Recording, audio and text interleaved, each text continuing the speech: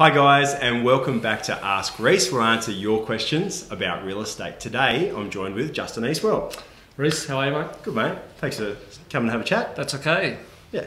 Justin's from our commercial team. Um, Justin looks after the Toowoomba CBD area, I guess, is, uh, is his specialty. Um, and off the back of the last couple of videos we've done, we've been talking about Toowoomba, the real estate market, uh, and trying to, I guess, look at why I mean I think that we're we're set potentially for a boom.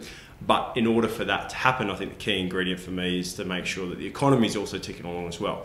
To me, Justin's got a real, I guess, pulse on the heartblood of what, what's going on uh, in the CBD in the economy. So I just want to have a chat to him about, you know, what, what he's seeing, um, where, where he thinks, uh, you know, potentially we could improve on that, and uh, yeah, any, I guess, predictions for the future just around retail, the CBD, and everything that's going on. So, Justin, can you tell us a little bit about yourself? Yeah. Um, so obviously, thanks for bringing me along, uh, Rhyce. Yeah. Much uh, appreciated there. Um, so I've been with Colliers International now for four and a half years. Yep. Um, yep. Prior to that, um, had uh, well, 20 years in hospitality and uh, retail. Yep. Um, and that's been predominantly here in the CBD. So obviously, that background that I've had um, through those industries has sort of you know given me good insight into you know how the CBD ticks and obviously what works and um, you know the the business case that um, you know potential tenants um, you know or, or, owners are looking for. So yep. Um, you know did 15 years in hospitality, um, managed you know a number of cafes and yep. hotels here in Toowoomba, um, and then yeah done retail for five years just prior to you know coming across to, to Colliers. So yep. yeah, yeah, right. Nice. So that's been that's sort of brief brief, brief, brief, background. Yeah, yeah, yeah, yeah. yeah. And um, yeah, so I guess you know a, a background of service and um, I guess the ins and outs from whether it's from a tenancy point of view, uh, running a business, and yeah, I guess just knowing the CBD and uh, yeah, really good resource. Justin's fantastic, um, mate. So I guess the main thing for me is uh, probably just to get a, a, bit of a sense of like what the like what's the current climate of the CBD for you, like from a commercial property perspective. Like, what's your feel on it at the moment? Yeah, look, you know, I love the CBD. I think you yeah. know, Toowoomba CBD is fantastic, and you know, I've seen a lot of changes take place over that. You know, this last twenty, well, actually, it's about 23, 24 years I've been yeah. sort of working in it. Um, if I go back to when I was a you know wee lad. Yeah. Um, so there's been you know change, but there's also been the same. Yep. Um, you know, we are very uh, insular, I think, Toowoomba as a as an economy. You know, yep. compared to you know the state and obviously compared to to nationally. So, you know, we've got a lot of uh, protection here in the economy. You know, through you know, obviously a diverse range of uh, industries. So, you know, the agriculture, you know, the the, the mining, um, obviously education, yep. health. Um, you know, there's there's quite a diverse range of industries here that help keep everything bubbling along. Now, yeah. obviously, there's no denying the fact that the retail sector is you know suffering at this point. There's obviously a lot of negativity around it. Yeah. Um, you know, with with the downturn in retail spend. Yeah. Um, and look, you know, we probably haven't been insulated from that like we have been yeah. in the past. Yeah. Um, you know, you look at the numbers, you know, nationally um, around retail spend, and definitely the the retailers are hurting.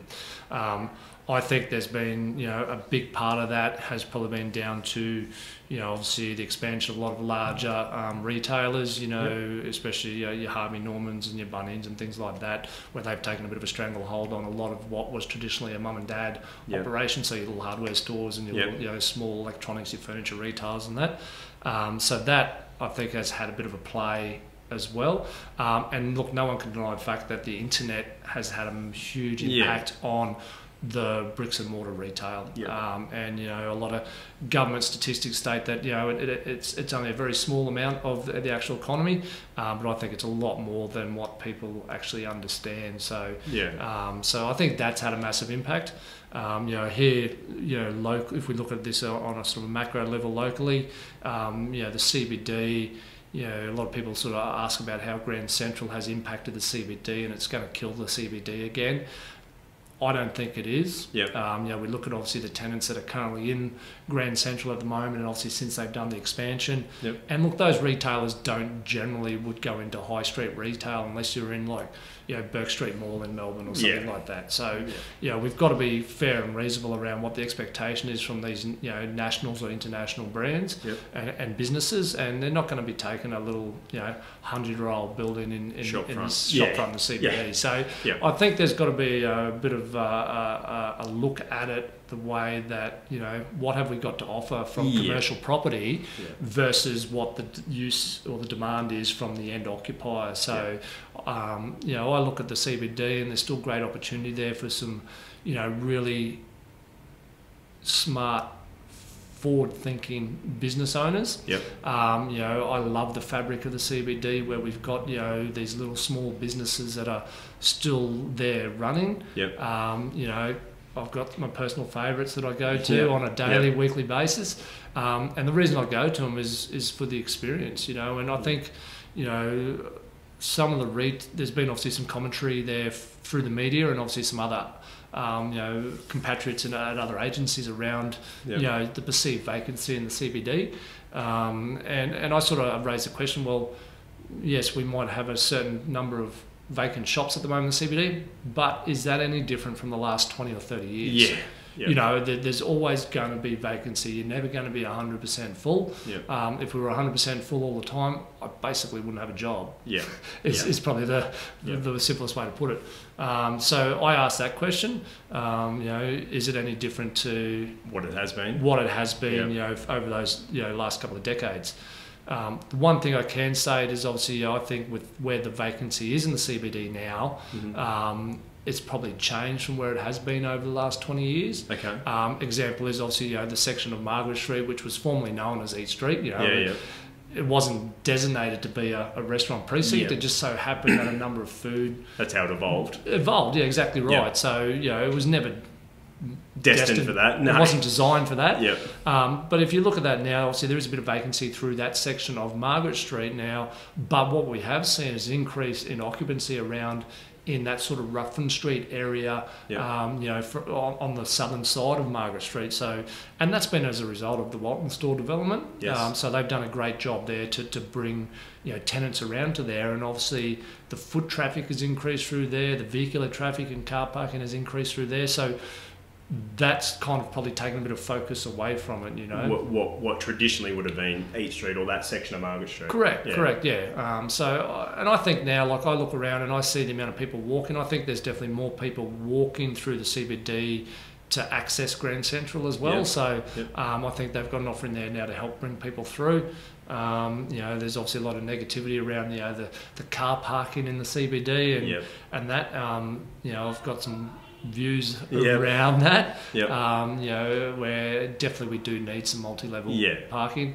Um, I personally would love to see Centre Street parking disappear. Yep. Um, you know, a lot of people uh, think that's a crazy idea. um, you know, you know, why is a customer going to come to my shop now? You know, if there's no parking out the front, well. The end of the day, you've got to have an offering and, and, and an experience that you know the consumer wants. So you know, Yeah.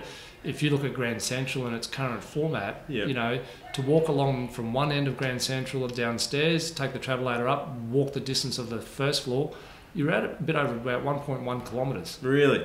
That's how far it is. Now, people Oh, yeah. do that. So, Yep. you know, the idea that, oh, you can't park 50 metres away from a shop on Margaret Street, you know, it just, I think it just astounds me that people won't do that. Yeah.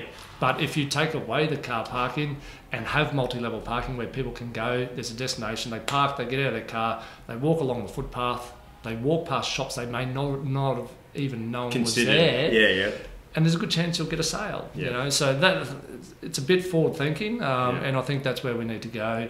Um, you know, with with the CBD, and you know, was a lot of people are so stuck on this idea that you know we need to park out the front, and Yeah. the only reason you need to have that is because the car park is right there. Yeah. Take it away, relocate it somewhere else, and have people walking through the CBD. Yeah. You know, you look at all the old photos of the 1970s, and there was swarms of people there. And I know we didn't have Clifford Gardens, we didn't have Kmart, so Yeah. there's that argument as well. Um, But we're also we weren't population. We were Exactly right, Yeah. exactly it's right, Not so- a, it's not like this is a like it's not like they've all evolved and nothing else has changed. no, no, This is the evolution of a city. Yeah, yeah. So Yeah. I think you know, you know, with um, you know the offerings that we have, and and the I know council council's done a reasonable job in trying to reduce the amount of commercial creep, you know, in the CBD Yeah. into this sort of outlying areas. Yeah. Um, obviously, the, the the northern entrance to the CBD there now has been sort of earmarked as the expansion of the CBD, Yep. and that will obviously help, you know, with the with the mill precinct and so forth going ahead there.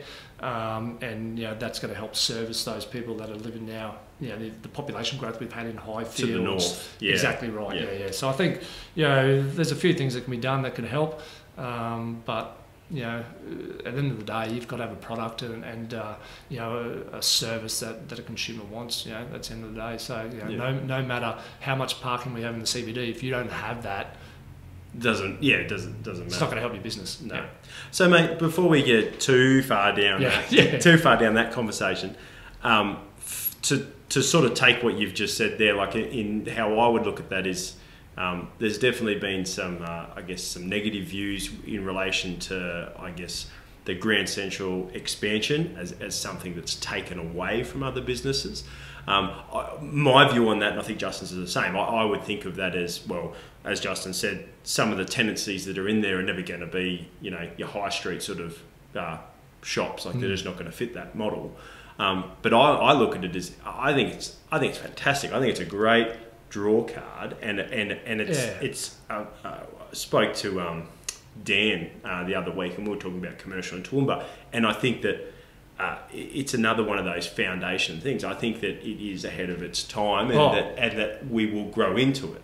Correct. Correct. Um, but I think that there's, as you say, um, you know, people have got to evolve with that as well. We, like with Grand Central, you know, I, I think you know, yes, it is ahead of its time. I, Yeah. I think that's definitely a, um, a, a fair comment. yeah, Um, the way I look at it at the moment is that Toowoomba's really suffering from a lack of migration and you know population growth. Yep. Um, you know, we've always been needing that extra sort of twenty thousand people with you know working people, not retired people, like you know Yeah, yeah. retirees with that have probably less discretionary spend. yeah, Um, we, we've always needed them, and I think where we're at the moment with Grand Central, if someone was to come up from Sydney, Melbourne, Gold Coast, even Brisbane, and they see that level of amenity that we've got here, and it's something that they're used to from where Yeah. they come from, yeah.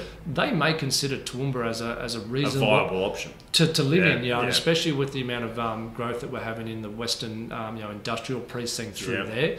Um, you know, that's going to have a massive impact to the Toowoomba's economy over the next sort of five to ten years with the level of growth that's going to go out there. Yeah, Um, the inland rail announcement, we've already seen, you know, really good inquiry from very large operators um, that we've never had or been able to cater for, particularly here in Toowoomba. So Yeah. when those businesses come up and you know corporations come up and want to look at Toowoomba, you know they need to make sure that a you know there's a, a city that can support their their, their, their, their, employment and their staff if they have to relocate them. And I think Grand Central's a part of that. yeah. So you know the thing is you have to build it now because if you build it when you kind of When need you need it, it, it's too late. it's too late. It's, Yeah. it's too costly. Um, Yeah. So I think you know it's it's a necessary evil if you want to call it that. Yeah, Um, Depending so- on your perspective. yeah, yeah, exactly right. So it's um, I think we needed to help that growth. Oh, You know, definitely.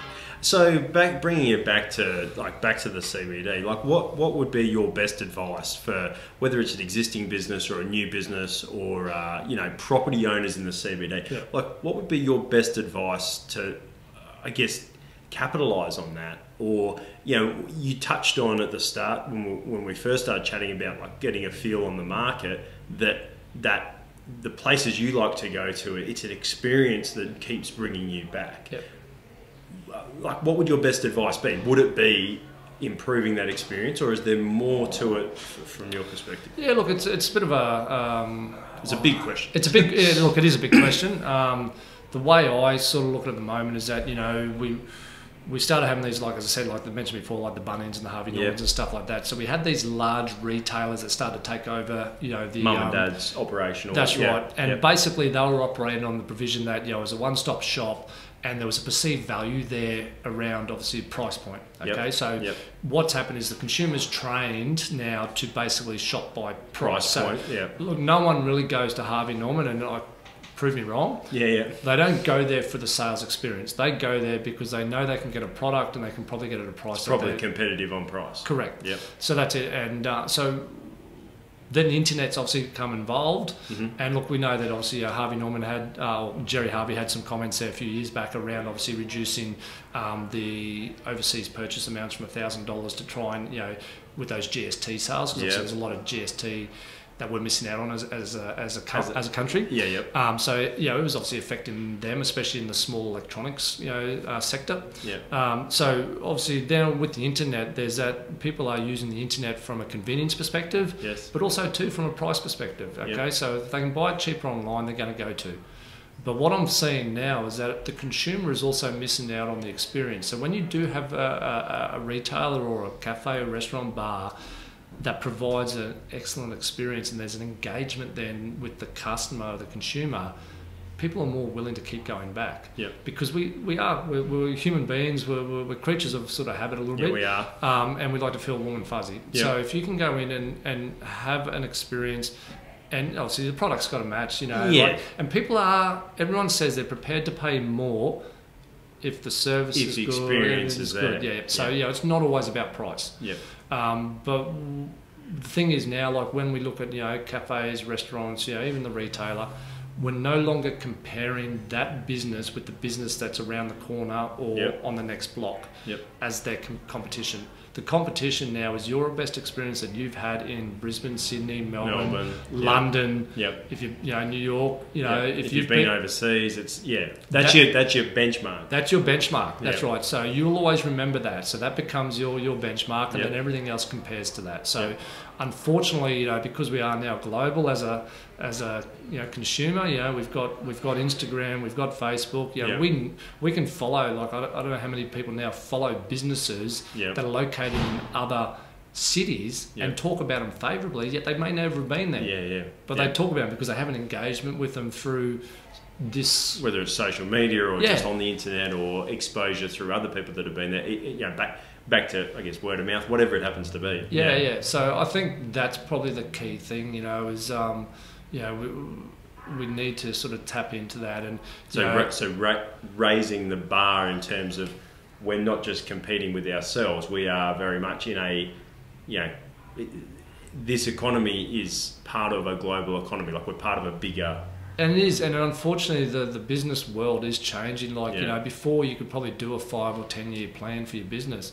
Unfortunately, now technology and everything that's going with it, it's meaning that it's having to change a lot quicker. And if you don't adapt to that, mm. unfortunately, you're going to be left by the wayside. Now, Yeah.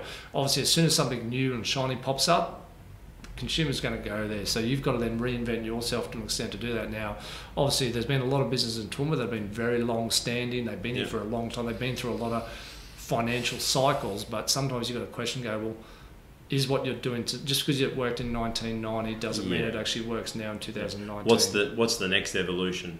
Yeah, Yeah. exactly right. So uh, there's, it's harsh to say, but definitely uh, businesses sometimes do need to have a take stock of where they're Yeah. at and are they still relevant in today's business world? Yeah, so any businesses that are, are, are wanting to stay, as you say, hit the nail on the head, wanting to stay relevant and be around for another 5, 10, 20, 30 Yeah. years' time, it's a case of, all right, well, what do we need to do to make sure we're still current, we're still viable, we're still relevant to the customer, we're providing a level of experience for them, for it to become part of, you know, a consumer's habit to come and see you. Yeah, and and probably you know, and on the flip side of that, you know, talking about obviously you know, with, with, you know that's the business and you know, perhaps the tenant or the owner occupier that might be in that particular building. Yeah. It's also now the buildings in the CBD. Yeah, You know, they're no many of them are no longer conducive to conducting a business in today's business world. yeah, Okay, so a lot of them are very old. You know, they we've experienced a pretty good generational change over the last probably four or five years. In that there's been long held Toowoomba CBD properties changing hands. yes. There's been you know not a lot of capital expenditure put into maintaining those buildings. So Pre- previously,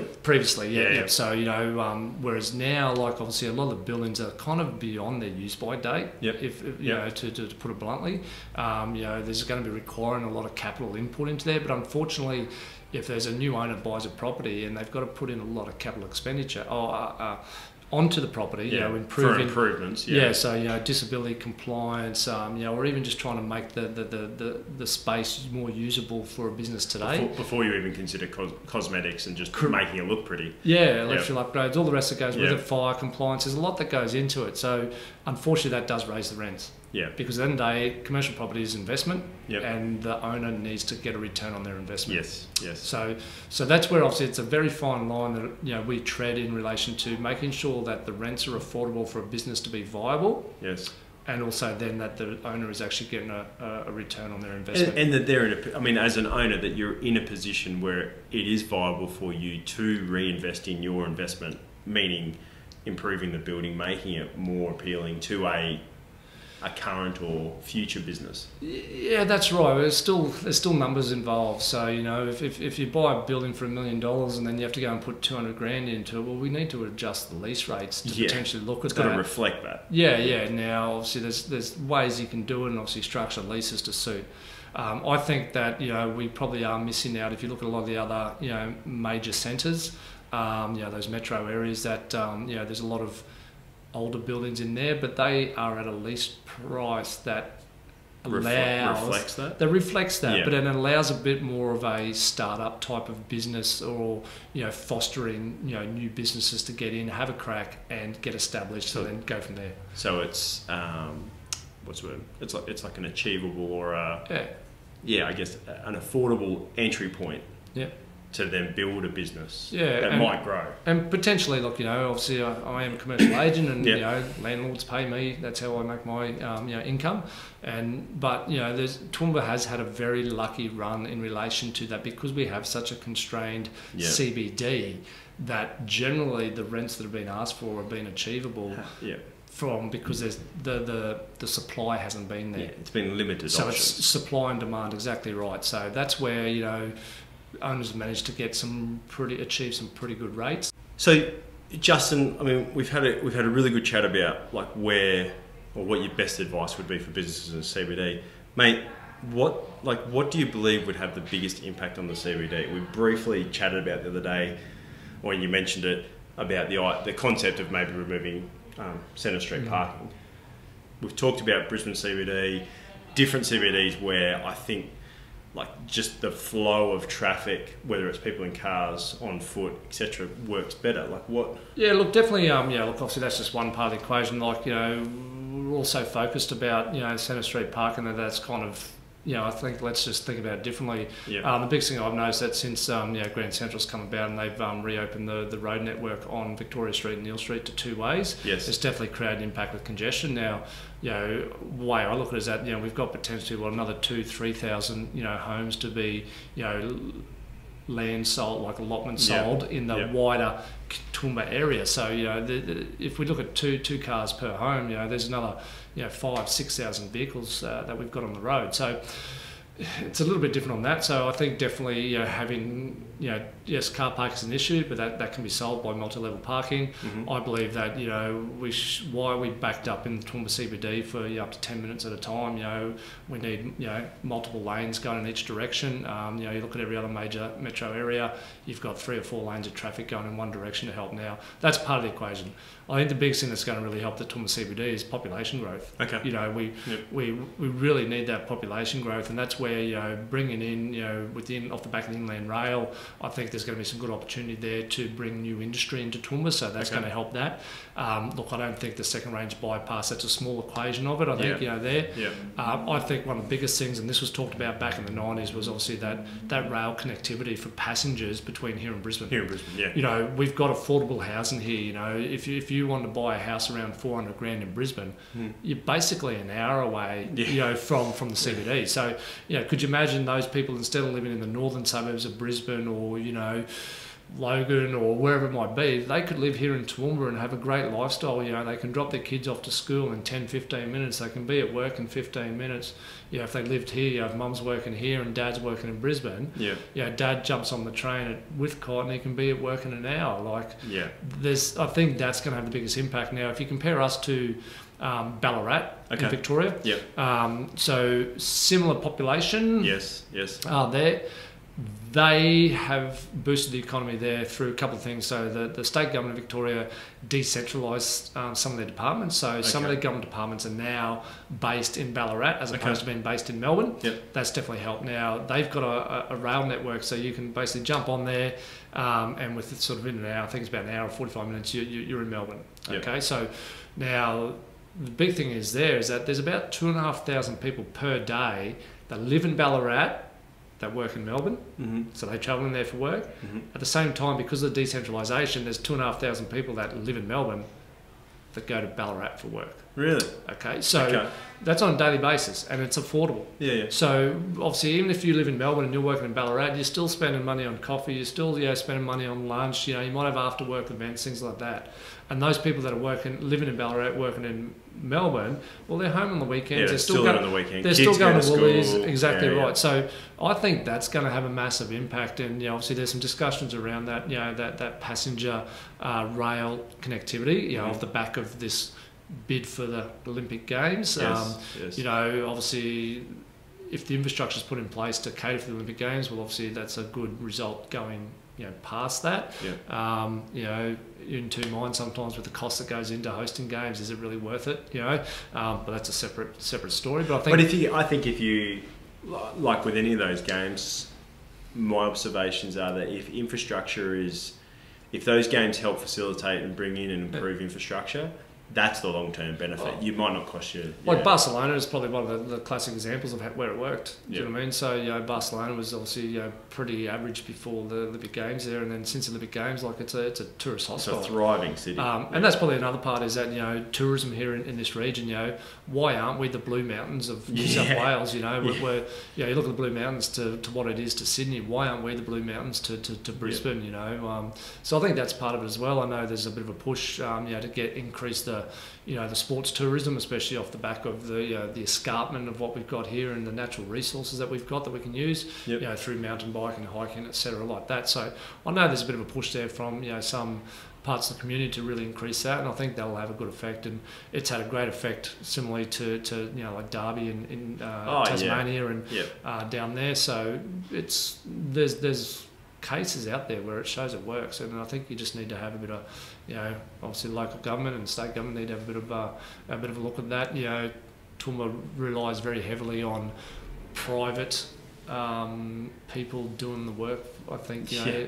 Car- carrying the heavy load. They do carry the load, you know, off the back of Wagners, FKG, and those sort of guys there. Um, you know, there's a lot there that they're carrying to, and they're putting into the community, you know. So yeah, Yeah, to push things forward. And Yeah. it'd be nice to, like, I agree. I mean, we've spoken about it before in terms of the tourism side of it. I think that Toowoomba is such a wonderful place on so many different levels, and I think that tourism is, I mean, we're known for being the Garden City and uh, Carnival Flowers and all that sort of stuff. I just think that it just seems like it's such a small component when it should be one of our biggest draw cards. Well, yeah, and that's the like, you know, we, we were talking about, you know, tourism from, you know, outside the Toowoomba region, you know, so whether it be, you know, within, you know, the southeast Queensland market, you know, is it tourism to, you know, people within Australia, is it international tourism?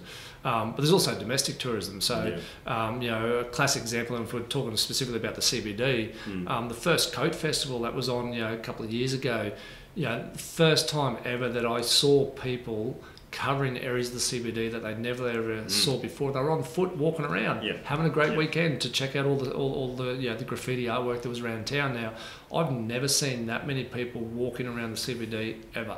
Yeah. Um, for the for the actual intent of exploring the CBD. Correct. Yeah, yeah, yeah, yeah. So you know, everyone just rather jump in their car, but this was Yeah. an opportunity for them that they could actually take a map and walk around and look. So, Yeah.